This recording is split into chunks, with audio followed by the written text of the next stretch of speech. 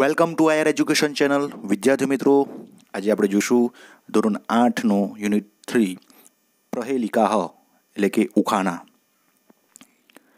એક ચક્ષુન કાકોયમ બિલમિચ્છન્ન પન્નગહ. એક ચક્ષુન, એટલે કે એક આંખવાળો. ન એટલે નથી, કાકોયમ. કાકોયમ એટલે કાગડો. એક આંખવાળો છે, પરંતુ તે કાગડો નથી. બિલમિચ્છન્ન પન્નગહ. બિલમિચ્છનમ એટલે કે દરમાં જવાની ઈચ્છા રાખનાર. ન પન્નગ, ન એટલે નથી. પન્નગ એટલે શાપ. ધર્મા જવાની ઈચ્છા રાખે છે, પરંતુ તે શાપ નથી. એટલે એક આંખવાળો છે, પરંતુ તે કાગડો નથી. ધર્મા જવાની ઈચ્છા રાખે છે, પરંતુ તે શાપ નથી. શિયતે વર્ધતે ચેવ ન સમુદ્રો, ન ચંદ્રમા હ. શિયતે એટલે કે ઘટે છે. ચે એટલે અને. વર્ધતે એટલે વધે છે. ઘટે છે અને વધે છે. ન સમુદ્રો, ન ચંદ્રમા. એટલે તે સમુદ્ર નથી કે ચંદ્રમા નથી. એટલે એક આંખવાળો છે, પરંતુ તે કાગડો નથી, દરમાં જવાની ઈચ્છા રાખતો હોવા છતાં તે સાપ નથી, ઘટે છે અને વધે છે, પણ સમુદ્ર નથી કે ચંદ્ર નથી. તો આનો જવાબ શું આવશે? શુચિહ. શુચિહ એટલે કે સોય તેને એક છિદ્ર હોય છે, એટલે જેને આપણે એની આંખ કહીએ છીએ. તે જ તેનું દર્પણ છે. કપડું સીવીએ ત્યારે તે અંદર તરફ જાય, ત્યારે તે એનું ઘટી જાય છે અને જ્યારે ઉપરની તરફ આપણે સોયને ખેંચીએ છીએ, ત્યારે તે વધે છે. આમ એ ઘટે છે ને વધે છે. ઓકે. ત્યારબાદ આપણે જોઈએ બીજું. ચતુર્મુખો ન ચ બ્રહ્મા, વૃષારૂઢો ન શંકર. ચતુર્મુખો એટલે કે ચાર મુખ વાળો. ન ચ બ્રહ્મા બ્રહ્મા એટલે બ્રહ્મા, ન એટલે નથી. એટલે કે ચાર મુખવાળો છે, પરંતુ તે બ્રહ્મા નથી. વૃષારૂઢો, ન શંકર વૃષારૂઢો. વૃષારૂઢ એટલે કે બળદ પર બેઠેલો. ન એટલે નથી, શંકર એટલે શંકર. બળદ પર બેઠેલ છે, પરંતુ તે શંકર નથી. એટલે ચાર મુખવાળો છે, પરંતુ તે બ્રહ્મા નથી. બળદ પર બેસેલ છે, પરંતુ તે શંકર નથી. નિર્જીવી, ચ, નિરાહારી. અજસમ ધાન્ય ભક્ષણમ. નિર્જીવી, એટલે કે જેના જેનામાં જીવ ન હોય તેવું. નિર્જીવ. ચ એટલે અને. નિરાહારી. નિરાહારી એટલે જે આહાર એટલે કે ખોરાક ન ખાતો હોય તે. નિરાહારી. એટલે તે નિર્જીવ છે અને નિરાહારી છે. અજસમ અજસમ એટલે કે નિત્ય અથવા તો કાયમ. સદા. ધાન્ય ભક્ષણમ. ધાન્ય એટલે કે અનાજ. અનાજનું ભક્ષણ કરે છે. તો તે નિર્જીવ અને નિરાહારી છે. છતાં નિત્ય અથવા સતત ધાન્યનું ભક્ષણ કરે છે. એટલે કે તે ચાર મુખવાળો છે. પણ બ્રહ્મા નથી, તે બળદ પર બેસે છે. પણ શંકર નથી, તે નિર્જીવ અને નિરાહારી છે. છતાં નિત્ય અનાજનું ભક્ષણ કરે છે. તો એનો જવાબ આવશે હલમ. હળ તે ખેતરમાં જ ફરે છે. હવે અને સતત ધાન્યનું ભક્ષણ કરે છે. એટલે જ્યારે ઓળની કર ઓર- ઓરવામાં આવે ત્યારે દાણા નાખવામાં આવે છે. અનાજના, ત્યારે એ અનાજના દાણા તે સતત ખાય છે. અને હળ જે હોય છે એનો આકાર ચાર મુખ જેવો હોય છે. એટલા માટે આમાં આવશે હલમ. ત્યારબાદ ત્રીજો જોઈએ. અપદો દુરાગામી ચ સાક્ષરો ન ચ પંડિતો. અપદો, એટલે કે પગ વિનાનો, દુર્ગામી, એટલે દૂર સુધી જનારો. ચ સાક્ષરો, ન ચ પંડિત. સાક્ષરો એટલે સાક્ષર અને ન એટલે નથી. પંડિત પંડિત એટલે પંડિત. એટલે કે તે પગ વિનાનો છે, છતાં દૂર સુધી જનાર છે.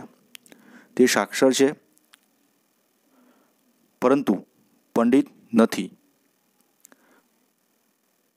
અમુખ સ્ફુટવક્તા ચ યો જાનાતી સ પંડિત અમુક, એટલે કે તે મુખ વિનાનો છે, મો વિનાનો છે. સ્ફુટવક્તા એટલે સ્પષ્ટ બોલનાર છે. ચ યો જાનાતી સ પંડિત યો એટલે કે જે જાનાતી એટલે જાણે છે, સ એટલે તે પંડિત એટલે પંડિત છે. આ આ જે જાણે છે, જે વ્યક્તિ આ જાણે છે, તે પંડિત છે. એટલે કે તે મુખ વિનાનો છે, છતાં સ્પષ્ટ બોલનાર છે. આ આ જે જાણે છે, તે પંડિત છે. તો આનો અર્થ હશે તે પગ વિનાનો, પણ દૂર સુધી જનારો છે, સાક્ષર છે, પણ પંડિત નથી. તે મુખ વિનાનો, છતાં સ્પષ્ટ બોલનાર છે. જે આને જાણે છે, તે પંડિત છે. તો આનો જવાબ આવશે લિખિતમ પત્રમ. એટલે લખેલો પત્ર. તો પત્ર જોઈએ તો આપણે જોઈએ પત્રમાં લખેલું આવે. તો એને પોસ્ટ આપણે પોસ્ટમાં મોકલીએ તો પગ વિના એક સ્થળેથી બીજા સ્થળે જાય છે. અને એમાં અક્ષર લખેલા હોય છે, એટલે સાક્ષર છે. અને સામેવાળો વાંચે તો એને સ્પષ્ટ એ વસ્તુ સમજાય છે, એટલે સ્ફુટ સ્પષ્ટ વક્તા થયો. ઓકે, તો આમાં આવશે લિખિતમ પત્રમ, લખેલો પત્ર. પર્વતાગ્રે રથો યાતિ, ભૂમો તિષ્ઠથી સારથી. પર્વતાગ્રે એટલે કે પર્વતની ટોચ પર. રથો રથો એટલે રથ. યાતિ યાતિ એટલે ચાલે છે. પર્વતની ટોચ પર રથ ચાલે છે. ભૂમો, તિષ્ઠથી સારથી. સારથી હ, એટલે ભૂમો એટલે જમીન પર. સારથી સારથી એટલે સારથી. તિષ્ઠથી એટલે બેઠો છે. એટલે જે સારથી છે તે જમીન પર બેઠો છે. એટલે કે પર્વતની ટોચ પર રથ ચાલે છે અને જમીન પર સારથી બેઠો છે. ચલતી વાયુ વેગેનમ પદમેકમ ન ગચ્છતી. ચલતી ચલતી એટલે ચાલે છે. વાયુ વેગેન એટલે એટલે કે પવનના વેગથી. તે પવનના વેગથી ચાલે છે. પદ મેકમ ન ગચ્છતી. પદ મેકમ એટલે એક પણ ડગલું, એક પણ પગલું. ન એટલે નહીં, ગચ્છતી એટલે જતો નથી. ઓકે એટલે કે તે વાયુના વેગથી ચાલે છે, પરંતુ એક પણ ડગલું આગળ જતો નથી. એટલે કે પર્વતની ટોચ પર રથ ચાલે છે અને સારથી જમીન પર રહે છે. તે વાયુના જેવા વેગથી ચાલે છે, પરંતુ એક પણ ડગલું આગળ જતો નથી. તો આનો જવાબ આવશે કુંભારસ્ય ચક્રમ, એટલે કે કુંભારનો ચાકડો. કુંભારનો ચાકડો છે તો આમ કુંભાર એને ગોલ ગોલ ફેરવે છે, એટલે પર્વતની ટોચ પર આમ ગોલ ગોલ ફરતું એવું લાગે. અને જે સારથી એટલે કે પોતે કુંભાર જે છે એ નીચે બેઠેલો હોય છે અને આ ગોલ ગોલ ફેરવે છે, વાયુ વેગ, પવનના વેગ જેવો ચાલે છે, પરંતુ એ કુંભારનો જે ચાકડો છે, એક પણ ડગલું આગળ વધતો નથી. ત્યારબાદ જોઈએ સુવર્ણસ્ય સુવર્ણસ્ય સુવર્ણસ્ય ચ જાનકી, પ્રેષિતા તવ રામેન સુવર્ણસ્ય ચ મુદ્રિકા. હવે અહીંયા આગળ જો સુવર્ણશ્ય સુવર્ણસ્ય સુવર્ણસ્ય જે શબ્દ છે, એનું વારંવાર રિપીટેશન કરવામાં આવ્યું છે, તો આના કારણે ત્યાં યમક અથવા તો શબ્દાનુપ્રાસ અલંકાર થાય છે અહીંયા આગળ. અને અહીંયા આગળ આ શ્લોકમાં જ્યારે અશોક વાટિકામાં સીતા માતાનું હરણ કરીને રાવણ ત્યાં લઈ જાય છે, ત્યારે હનુમાનજી ત્યાં જાય છે, તો સીતા માતા તેને ઓળખે એટલા માટે રામે વીટી આપી છે એના અનુસંધાનમાં આ જે શ્લોક છે, તો આપણે એનું ભાષાંતર જોઈએ. તો જોઈએ સુવર્ણશ સુવર્ણશ સુવર્ણશ જાન ચ જાનકી એટલે કે અહીંયા સુવર્ણસ્ય શબ્દ છે, એના અલગ અલગ અર્થ થશે. એક તો ઉચ્ચ કુળની થશે, બીજું થશે શ્રેષ્ઠ પરિવારના, ત્રીજું થશે ચળકતા, રંગની અને પછી બીજો એક અર્થ થશે સોનાની. આમ ચાર પ્રકારના અર્થ થાય છે સુવર્ણસ્યના તો એટલે હનુમાનજી કહે છે કે, હે ઉચ્ચ કુળની જનકનંદની સીતા, જાનકી એટલે, હે જનકનંદની સીતા પ્રેષિતા તવ રામેન સુવર્ણશ્ય મુદ્રિકા પ્રેષિતા પ્રેષિતા એટલે મોકલી છે. તવ એટલે તારા, રામેન એટલે રામે. સુવર્ણશ્ય એટલે સોનાની, ચ મુદ્રિકા. મુદ્રિકા એટલે વીટી. હે ઉચ્ચ કુળની જનકનંદિની સીતા, તારા રામે તારા માટે સુવર્ણસ્ય એટલે સોનાની, મુદ્રિકા એટલે કે વીટી મોકલી છે. ત્યારબાદ છેલ્લો છે ભોજનાંતે ચ કિમ પેયમ જયંત કશ્યપે સુત ભોજનાંતે એટલે કે ભોજનના અંતે કિમ કિમ એટલે શું પેયમ એટલે પીવું ભોજનના અંતે શું પીવું શું પીવું જોઈએ જયંત કશ્યપે સુત જયંત કશ્ય એટલે કોનો વે એટલે ખરેખર સુત એટલે પુત્ર જયંત ખરેખર કોનો પુત્ર છે અને એના પછી છે કથમ વિષ્ણુપ્રદમ પ્રોક્તમ તક્રમ સક્રશ દુર્લભમ કથમ વિષ્ણુપ્રદમ પ્રોક્તમ એટલે કે કથમ એટલે કેવું? વિષ્ણુ પદમ એટલે કે વિષ્ણુનું જે પદ છે તે પ્રોક્તમ એટલે કહેવાયું છે. તો વિષ્ણુનું પદ કેવું કહેવાયું છે? તો અહીંયા ત્રણ પ્રશ્ન પૂછાય છે. ભોજનાંતે ચકી પેયમ ભોજનાંતે શું પીવું જોઈએ જયંત કશ્યવે સુત જયંત ખરેખર કોનો પુત્ર છે? કથમ વિષ્ણુ પ્રથમ પ્રોક્તમ એટલે કે વિષ્ણુનું પદ કેવું કહેવાયું છે? તો આ ત્રણેય પ્રશ્નના જવાબ નીચે અહીંયા આપેલા છે. પહેલું પ્રશ્ન છે, ભોજન ભોજનાંતે ચોકી પેયમ, ભોજન અંતે શું પીવું? તો તક્રમ તક્રમ એટલે કે છાસ ભોજનના અંતે છાસ પીવી. બીજો પ્રશ્ન છે, જયંત કશ્યપે સુત? જયંત ખરેખર કોનો પુત્ર છે? તો શક્રશ્ય એટલે કે જયંત ઇન્દ્રનો પુત્ર છે. ત્યારબાદ છે, કથમ વિષ્ણુ પ્રથમ પ્રોક્તમ એટલે વિષ્ણુનું પદ કેવું કહેવાયું છે? તો દુર્લભમ. એટલે કે દુર્લભ. વિષ્ણુનું પદ કેવું છે? દુર્લભ છે. તો અહીંયા આગળ આ પ્રશ્ન પૂછાય છે અને એના જવાબ પણ આપેલા છે.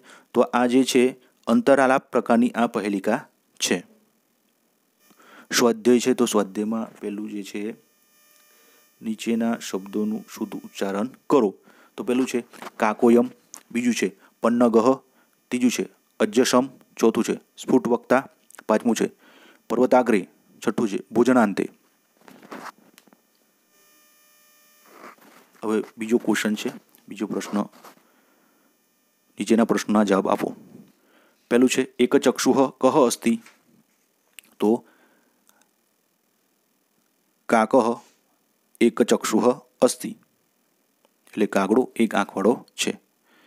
બીજું, કહ ધાન્ય ભક્ષણમ કરોતી? ધાન્યનું ભક્ષણ કોણ કરે છે? તો હલમ ધાન્ય ધાન્ય ભક્ષણમ કરોતી. હળ ધાન્યનું ભક્ષણ કરે છે. ત્રીજું છે સારથી કુત્ર તિષ્ઠથી એટલે કે સારથી. ક્યાં ઊભો છે? તો સારથી ભૂમો તિષ્ઠથી તો સારથી જમીન પર છે. ચોથું, રથ કુત્ર યાતિ એટલે કે રથ ક્યાં ચાલે છે? તો રથ પર્વતાગ્રે યાતિ, એટલે રથ પર્વતની ટોચ પર ચાલે છે. એના પછી છે, રામેન કા પ્રેષિતા રામે શું મોકલાવ્યું છે? તો રામેન સીતાએ સુવર્ણસ્ય મુદ્રિકા પ્રેષિતા રામે સીતાને સોનાની વીંટી મોકલાવી. અને પછી લાસ્ટ છે, જયંત કશ્ય પુત્ર. જયંત કોનો પુત્ર છે? તો જયંત શક્રસ્ય પુત્ર. જયંત શક્રસ્ય એટલે કે ઇન્દ્રનો પુત્ર છે.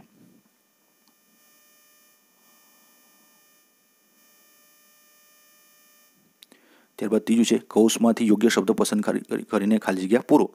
તો પેલું છે, ચતુર્મુખ ખાલી જગ્યા અસ્થિ ચાર મુખવાળું ખાલી જગ્યા છે, તો એમાં જ આવશે બ્રહ્મા. ચતુર્મુખ બ્રહ્મા અસ્થિ બીજું છે ભોજના અંતે પેયમ ખાલી જગ્યા, તો અહીંયા આવશે તક્રમ. ભોજનના અંતે તક્રમ, એટલે કે છાસ પીવી. ત્રીજું, અપદ શબ્દ અપદહ શબ્દશ અર્થ. અપદ શબ્દનો અર્થ શું થશે? તો આવશે પાદરહિત, એટલે કે પગ વિનાનું. ચોથું, રથ ખાલી જગ્યા ચલતી. તો આમાં આવશે વાયુ વેગેન રથ વાયુ વેગેન ચલતી એટલે પવનના વેગથી ચાલે છે. વિષ્ણુ પદમ ખાલી જગ્યા પ્રોક્તમ. વિષ્ણુનું પદ ખાલી જગ્યા કહેવાયું છે. તો કેવું કહેવાય છે? દુર્લભમ. ચોથું છે એક્ટિવિટી નીચેના શ્લોકમાં સુંદર અક્ષરોમાં, નીચેના શ્લોક સુંદર અક્ષરમાં લખો. તો પહેલો શ્લોક છે ભોજનાંતે. તો એને આપણે કમ્પ્લીટ કરીને સુંદર અક્ષરમાં લખવાનું છે. ભોજનાંતે ચકી પેયમ જયંત કશ્યવે સુત. કથમ વિષ્ણુપ્રદમ પ્રોક્તમ તક્રમ શક્રશ દુર્લભમ. અને એના પછી છે બીજું અપદો દુરાગામીવાળો તો અપદો દુરાગામી ચ સાક્ષરો ન ચ પંડિત અમુખ સ્ફુટ વક્તા ચ યો જાનાતી સહ સ પંડિત. ઓકે, આ રીતના અહીંયા શ્લોક પૂર્ણ કરવાના છે સુંદર અક્ષરમાં લખીને. અહીંયા પાંચમી એક્ટિવિટી છે. નીચે આપેલા ગુજરાતી શબ્દોને સંસ્કૃતમાં લખો. તો પહેલું છે ભોજન બાદ. તો એમાં આવશે ભોજનાંતે. બીજું છે મુખ વિનાનો. બીજું છે મુખ વિનાનો. તો એમાં આપણે લખીશું. અમુખ, ત્રીજું, એક ડગલું. તો એક ડગલા માટે આપણે લખીશું પદમ એકમ. ચોથું છે વીંટી. એના માટે લખીશું મુદ્રિકા. અને પછી છે પાંચમું, દૂર જનાર. તો દૂરગામી. અને છઠ્ઠું છે બળદ પર બેઠેલો. તો એના માટે આવશે વૃષારૂઢ. ઓકે, આ રીતના આપણે ગુજરાતી શબ્દોને સંસ્કૃતમાં લખીશું. ત્યારબાદ એના પછીની એક્ટિવિટી છે. એક્ટિવિટી છો. છઠ્ઠી એક્ટિવિટી અહીં આ એકમમાં વપરાયેલા સામાસિક શબ્દો આપ્યા છે, જેના આધારે અન્ય શબ્દ બનાવો. તો પેલું છે વૃષ વૃષ પરથી વૃષારૂઢ શબ્દ બન્યો. તો અશ્વ પરથી આપણે બનાવીશું અશ્વારૂઢ, ગજ પરથી આપણે બનાવીશું ગજારૂઢ અને વૃક્ષ પરથી બનાવીશું વૃક્ષારૂઢ. એના બીજું છે પદમ. પદમ ઉપરથી પદ મેકમ. શબ્દ બને છે, તો શબ્દમ પરથી શબ્દમેકમ, વાક્યમ પરથી વાક્યમેકમ, ગીતમ પરથી ગીતમેકમ. ત્યારબાદ ભોજન ઉપરથી ભોજનાંતે શબ્દ બનશે, તો દિન પરથી દિનાંતે, નિશા પરથી નિશાંતે, વર્ષા પરથી વર્ષાંતે આપણે શબ્દ બનાવીશું. ત્યારબાદ ચોથું છે પર્વત ઉપરથી પર્વત આગરે બને, તો રથ પરથી આપણે રથાગ્રે વૃક્ષ પરથી વૃક્ષાગ્રે અને કર પરથી કરાગ્રે શબ્દ બનાવ્યું શું? ઓકે તો વિદ્યાર્થી મિત્રો, આ વીડિયો તમને કેવો લાગ્યો? જો તમને ગમે હોય, તો વિડીયોને લાઇક કરજો, શેર કરજો અને મારી ચેનલને સબસ્ક્રાઇબ કરજો કે જેથી કરીને હવે પછીના વિડીયોના નોટિફિકેશન તમને મળતા રહે.